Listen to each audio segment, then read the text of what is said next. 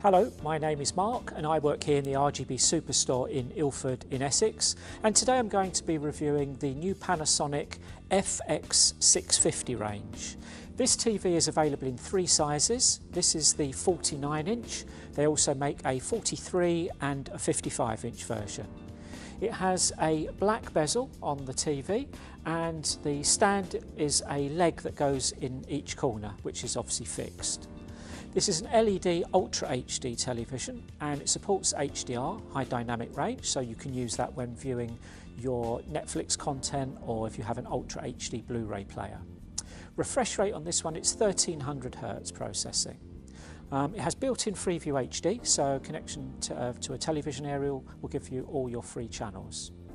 It is a smart television and it has built-in Wi-Fi. Um, it does have web browsing features and you also have all the usual apps that you'd expect from, from any smart television these days. So it does have Netflix 4K, YouTube, which is also now 4K, um, and you also have things like swipe and share. So with your smartphone or tablet, you can share photos and videos directly with the television as well. Um, it also has something called MyStream, so if there's various different users in the house, you can set up your own individual um, settings for that as well.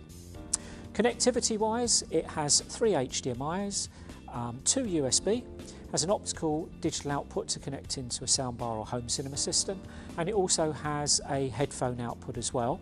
Um, for those of you who still have the older um, type of mach machinery, then you have got composite and component, so with an adapter you can connect into an old uh, VCR if you wish to do so. Finally, the power consumption on this one, it's A-class energy efficiency. If you'd like any more information or a demonstration, you can visit one of our stores or you can find us on our website, which is at www.rgbdirect.co.uk. Thank you for watching.